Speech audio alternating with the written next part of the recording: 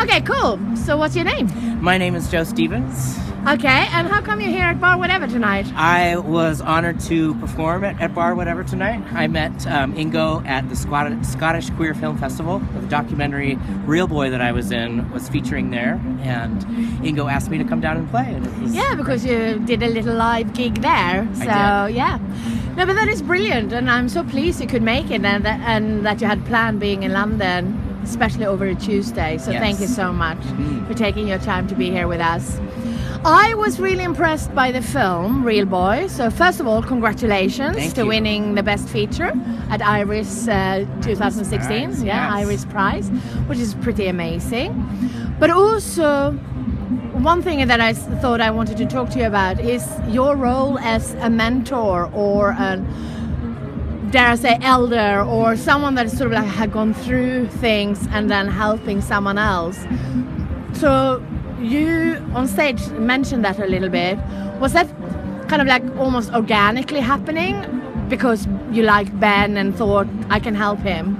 very much so. Yeah. So, so. is he kind of like is he the first sort of young trans person you have sort of like reached out and helped or felt like you could help? He's not the first, but he was one of the first that I was able to spend a lot more time with, and that he came and lived with me, and we traveled a bunch together. And he's one of the few um, songwriters, so we were able to make some music together. And you know, when I was a young queer person, somebody, you know, there was the the head of the dorm parent at the boarding school that I went to was a lesbian, and she took care of me. Okay. And she showed me that it was okay to grow up and be a queer person, and she made sure I didn't get kicked out of school, and you know, so somebody did it for me, and it was, it just seemed natural to to to help the next folks that that came along my way. Yeah, because I think that is one of the really, really not forgotten, but as families and chosen families, we have to look out for each other.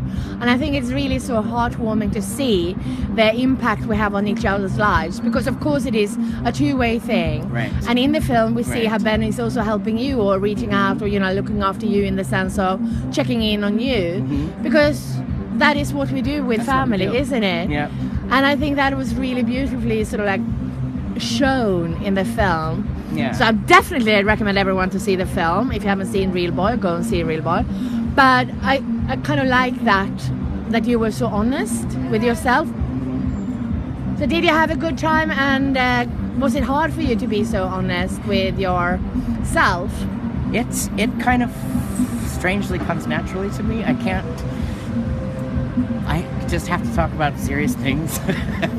um, that's sort of the way I'm wired. But it, um, the film happens strangely organically. Like we met the the the director, and she, um, the cameras just sort of started rolling, and we just sort of lived our lives, and and. Um, so it, it was kind of a surprise that four years later it turned into this documentary and i find myself here Yeah. doing these things so um, yeah I- don't hold yeah. back Cool. But are you okay t- to talk about your Uh-huh. addiction? Yeah. Yeah. Because I think that is also something that we sometimes shy away from in this community. That we all kind of like having, you know, a lot of other extra things added to our lives and things like that, and how we look after each other and how we find space Right. and place where, you know, our drink and our drugs or things like that becoming the most important thing. right It's- So- it can be such a trap for for anybody really Yeah. but particularly sensitive already queers you know it's it's um, when you feel things so deeply sometimes it's really difficult to not want to find something to help to help balance that out a little bit and Yeah. um, for me it was a it was a real trap and I went through some really rough years particularly before my transition but I also found that my transition did not fix all my problems No.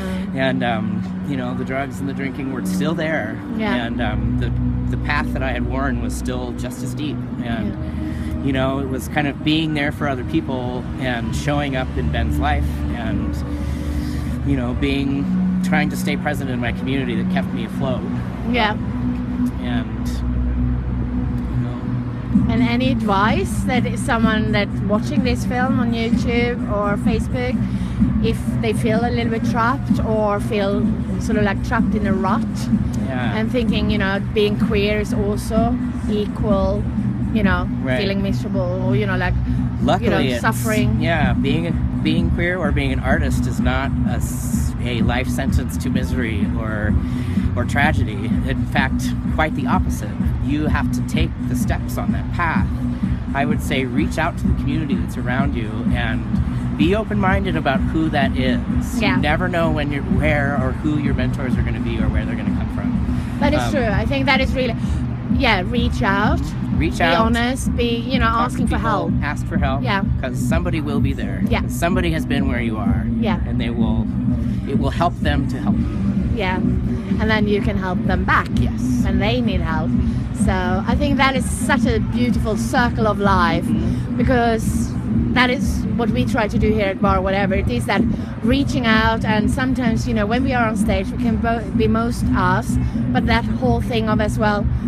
It's a lecture in how actually to survive sometimes. Right. We talk very much about mental health. We talk very much about addiction. We talk very much about, you know, transitioning, not only through gender or sexuality, but also we're moving on by education or, you know, different languages or, you know, we're moving between countries. So Life is full of opportunities. it to, is, it to change, is. Transition, and we all need. We all need our people. Yeah. So what do you have lined up now? What do you have in the pipeline? I am going to work on another album over the winter, um, and I'm also writing a musical, which is exciting. I've been hired to write the songs. The script is already written. It's about um, a historical character who was female-bodied and enlisted in the American Civil War as male. His name was Albert Cashier, and it's going to be like an Americana musical, and we're hoping to get it on stage by the end of next summer. Cool. So there's some time, but there's a lot to do. Yeah. So- And is that a special interest of yours to kind of finding these stories about I love kind queer of trans history. people or Yeah. people who have gone through before by sort of just pure survival as well? pure sometimes? survival and it shows it shows the tenacity of Yeah. queer folks and it shows that we've always been here Absolutely. you know coming out as a it was it was so meaningful to me to find actual historical Yeah. evidence of, Yeah. of our existence That's brilliant. Really looking forward to see the musical. Yeah. And Joe, it has been a fucking pleasure to have you here tonight with us. And I think you have, my gosh, I could see the eyes of the, you know, the young ones sitting in the front row, just lapping it up. Uh, so thank you so much for sharing. thank you so much You're reaching very far. Thank you. See you next time Yes, absolutely.